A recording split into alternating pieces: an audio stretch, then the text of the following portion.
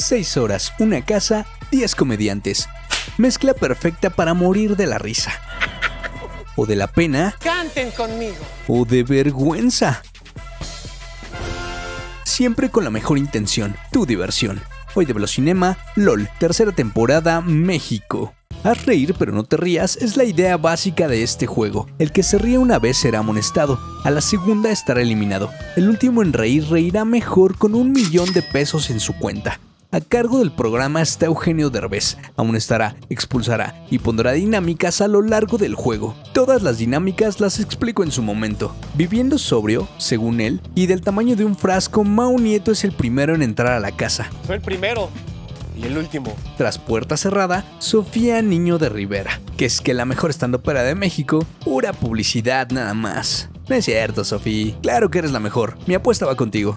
Pateando el aburrimiento, Hugo el Cojo Feliz. Estaba destinado a ser la mejor pluma cómica de México, pero se chingó la rodilla. Ricardo Peralta, Pepe. Esta loba salió del armario en taconada y magnética para demostrar que ni el mismísimo sol brilla más que ella. Con cuerpo de bochito, Gaby Navarro. ¿Alguien sabe quién es esta provinciana? ¿Se ve perra?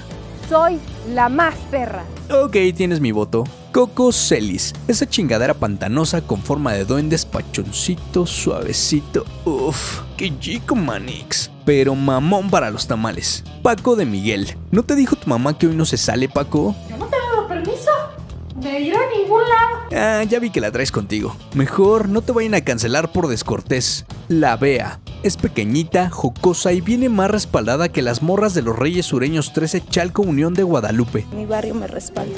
Ricardo Pérez. Nunca pierde el estilo y siempre se echa un shot con sus invitados. Bien mexa el man. Mexa, mexa man. Donde lo quieras. Capi Pérez. Todos se pusieron nerviosos. Perdón, pero se cagaron. Revancha instantánea para él. En la segunda temporada de un truco de magia le desaparecieron la oportunidad de ganar. Igual apuesto por ti, Capi. Comienza el juego. Oh my fucking fuck. El Capi rellena de alcohol la polla de hule de la Bea. Se avienta un shot y le chupa hasta dejarla seca. A Ricardo también se le antojó jugar con la de hule. A ver tú. ¿Te estás riendo?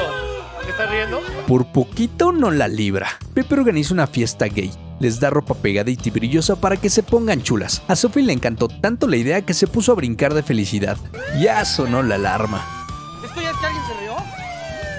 Siento que fui yo. ¿Tú crees? Nah. Vamos a ver el video. Primera alarma, primera amarilla. Me choca, Sofía, tú siempre quieres ser primera en todo. Regresemos al juego. De coraje, Sofía se embaraza, mientras el Capi prende la fiesta de Pepe.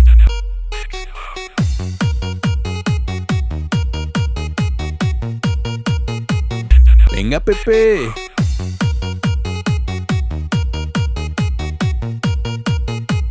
Venga, Mau. No, sonrías. Nunca te rías.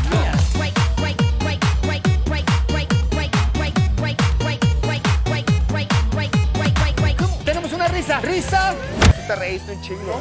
Muy clara esa amarilla. Tarjeta para el incrédulo o cínico de Mau. Se reinicia el juego, aunque no tardó mucho en volverse a pausar. Nada más que esta vez no se vio quién se rió ni por qué. Eugenio, ¿quién fue? Vamos a ver el video. Ay, Gaby. Una amonestada más. Sigamos. Sofía en su embarazo express da a luz a un pequeño coquito bebé. Ese Ricardo anda muy risueño. Mau celebra el nacimiento de Coco con un pastel del nacimiento de Coco. Primera vez que veo que el niño se come al Coco. Está chico, mani. Ricardo encuentra polvos mágicos que lo dejan un poco malito.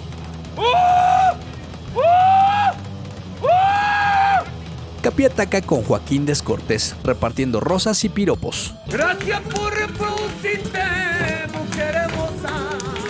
Gracias por no reproducirte todavía. ¡Maestro! Primer brillazo tumillas. En esta dinámica el participante presenta un pequeño show. Paco de Miguel representa a una señora enojada con los muertos de hambre de su familia que asistieron al velorio de la abuela nada más por la herencia. Peleas por la herencia de la abuela. Es muy navideño. Pinche casa culera. Casa culera, pero de ahí tragaste, hijo de la chingada. Claro que ¿Cuántos años tragaste de esa casa? Porque en esa casa tragaste tú, tragaste tú, tragaste tú, tú, tú y todos tragaron de esa casa de Ay, mi todos madre. tragaron. El brillazo Tumillas terminó sin risas. Pepe sigue proponiendo. Los pone a jugar al bugómetro, o sea, a medir su nivel de heterosexualidad. Paco, tú no juegues. Porque yo no juego. Ma, Porque sabemos. Ay, amarilla para mí, el Capi me hizo reír. Al que le valió hectáreas de riata el bugómetro fue a Coco. Él no sufre de masculinidad frágil. Prefirió echarse un traguito y compartir. Espérate, chaparrín. Es un papucho. Por más sensual que estés, Capi, y si te ríes, te amonestan. Sí, mis dos apuestas ya están amonestadas. Segundo brillazo Tumillas. Sofía presenta música con copas y suena re chafa. Sé que cha no forma parte de las notas musicales, igual que el amor de tu vida no forma parte de tu vida. Pequeñeces, sin importancia. Sofía cerró su acto sonando la música interna de Mau. Hoy se toma y mañana también, aunque sea una cervecita, siempre cae bien. Ay, ay, ay, agarren a Pepe que se cae. Tss, tenemos alarma. ¿Quién fue esta vez? Esa mirada Creo que sí es de fuiste que tú. fui yo. Ricardo, a ver. Con esta amarilla al risueño de Ricardo, tenemos a la mitad de los comediantes amonestados en menos de una hora de juego. Sigamos. La doña Cuquita del Capi le presume a Sofía y a la Bea a sus grandes y venudos novios. El güero Brandon, al que toca como flauta, y al moreno Tenoch que le hace gritar de tanto poder prieto. Tenoch como que se parece a Coco, ¿no? Estoy chico, maní. Siguiente brillazo tumillas. Le toca el turno a Coco Celis. Presenta una cata de cacas, o sea, una cacata. Hace pruebas de sabor, textura El agarre. y crayoneo. Pepe no aguanta el asco. Ahora resulta que le dan, que le das con la caca cuando coge por el ano. No encuentro fallas en su lógica. La cacata terminó sin risas, pero sí con muchas ganas de vomitar. Casi de inmediato soltaron otro brillazo tumillas, pero antes de eso, Eugenio hace sonar la alarma. Ahora, ¿a quién vas a amonestar? ¡No! ¿Sofía? ¿Ya expulsada? Sí, cuando la leche. Bueno, me queda el capi. Bueno, en algún lugar Ay, tengo. perdón, perdón, perdón, perdón. No manches que otro amonestado. ¿Neta? ¿En qué momento? Peor, otro expulsado. Es que tú también, Ricardo, andabas bien risueño. Dos menos. Sofía y Ricardo tendrán que salir de la casa. De vuelta al juego, toca turno a Mau Nieto de hacer el brillazo Tumillas. Para su presentación se mutiló su emblemático bigote. Sale a escena cubierto e inicia una rutina aeróbica para raza aria. ¡Wow! ¡Mau Führer!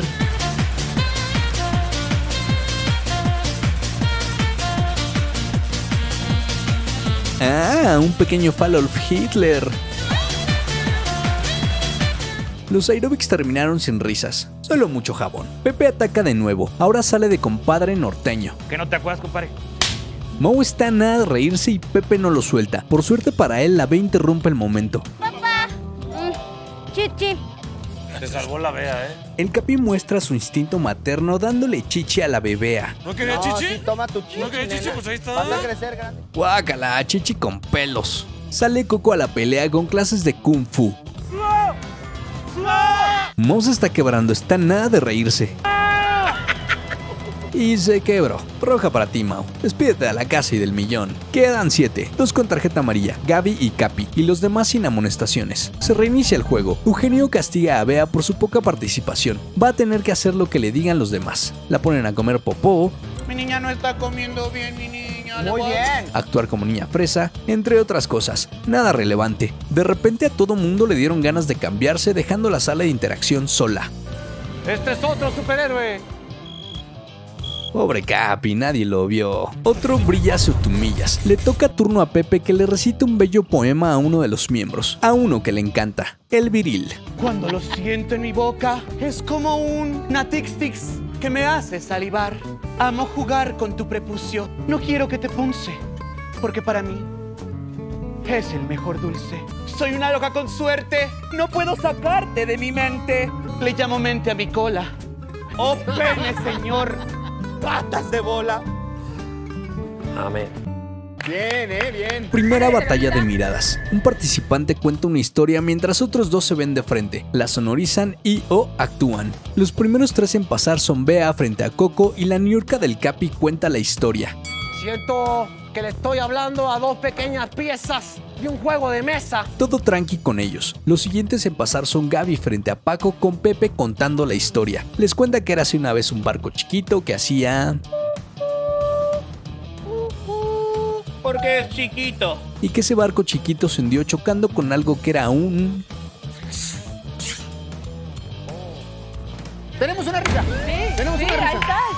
Sí, no hay duda de quién se rió. Gaby recibe su segunda amarilla, es expulsada y tiene que dejar la casa. Nueva regla para esta temporada. Cuando Eugenio entraba a la casa cualquiera se podía reír. Era como un receso. De ahora en adelante ya no lo podrán hacer. De vuelta en el juego, Hugo se convierte en Stephen Hawking quedándose quietecito y vulnerable para que los demás lo hagan como quieran. Así como Diego Dreyfus a la carrera del chicharito. Ah, caray, ¿quién se rió? Vamos a ver el video. La Bea. Lo más triste es que se rió sola. Si te consuela de algo, Bea, no vas a ser la única amonestada. Paco de Miguel. No, ¿a qué hora? A Paco de Miguel se le olvidó que ya no se podía reír ni aunque entrara Eugenio. Despistado el muchacho. Sigamos. Niurka caritativamente le croma el aparato al cojo Hawking. ¡Se la chupemos, caridad! También les muestra cómo se hace un squirt, con sabor a mandarina. Estuvo rico, eh.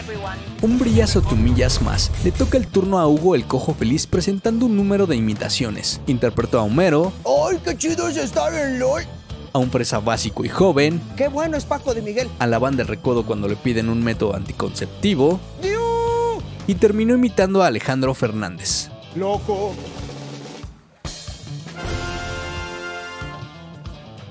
Batalla de miradas. Capi contra Hugo con Coco contando la historia. Les cuenta sobre un matrimonio al que se les está acabando el amor. Un día el marido intentó reconquistar a su mujer, pero ella ya no lo amaba. Después de eso quiero que te vayas de la casa. Oh.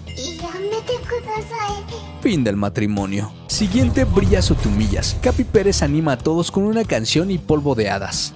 Cuando te sientas triste y quieras estar feliz,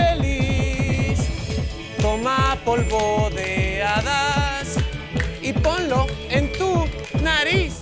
¡Huevo!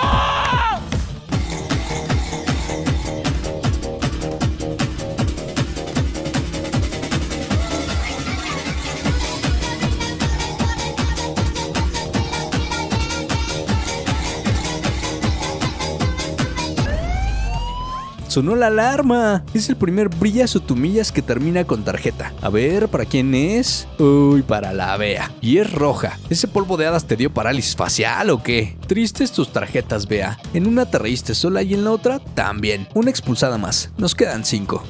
¿Vas a sacar otra tarjeta, Eugenio? Vamos a ver un video. No, Capi. Carajo, Capi. Corrijo, dos expulsados, nos quedan cuatro. Hugo el Cojo Feliz, Ricardo Peralta, o sea Pepe, Coco Celis y Paco de Miguel que es el único amonestado. De regreso en el juego, Eugenio les pone la dinámica cambio de canal, donde interpretarán lo que él les ordene. Los primeros en pasar son Pepe y Coco actuando una telenovela. Siento que te gustaría que te pegue, Matilde. ¿Es una telenovela porno? Así es, ¿podrías tomar posición para que te dé unos cuantos azotones? ¿Posesión? Claro.